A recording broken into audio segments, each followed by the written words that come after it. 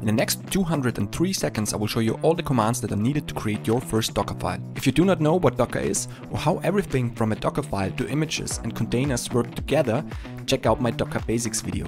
The link is in the video description below. To create a Docker file, you can simply create an empty text file without any extension like .txt and call it Docker file.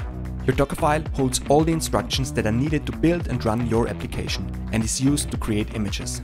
Every Docker file needs a base image to start with. Yes, yes I know. This sounds confusing. How can we create an image out of a Docker file when we need an image for a Docker file? Let me explain. Imagine your base image as an empty canvas. Your Docker file will describe everything that should be created on this canvas To get started, there are two ways. You can just start from scratch and create a new image altogether. To do this, you start your Docker file with the command from scratch. This would be a completely empty canvas for your new image and you have to define every detail yourself, like operating system, file system, packages and so on. The easier and more common way to get started is to get an already defined base image from your Docker Hub registry that fits your purpose. How do you choose the right one? It depends on several factors, like programming language, packages needed, operating system, speed, security, and so on.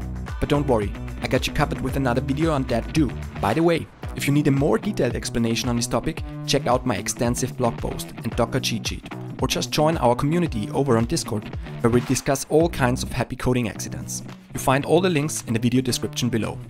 In my case, I will choose a Node.js Alpine image because it offers a lightweight Linux distribution that makes my final image smaller, more secure and has Node.js pre-installed.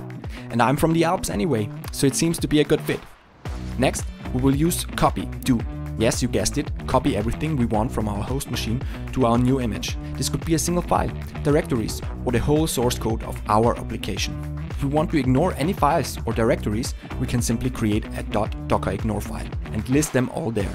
To save some time, Docker has a handy cache function built into it. Each line of code is considered a layer.